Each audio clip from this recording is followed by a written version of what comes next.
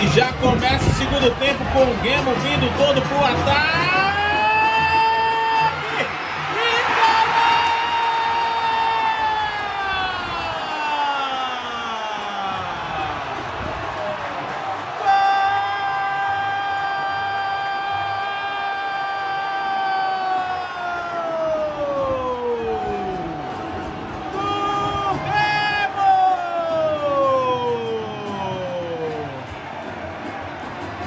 Foi o Capita.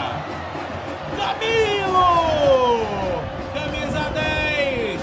Marca o gol do Demo logo no início do segundo tempo. Agora o Remo tem um. E o Águia tá zerado.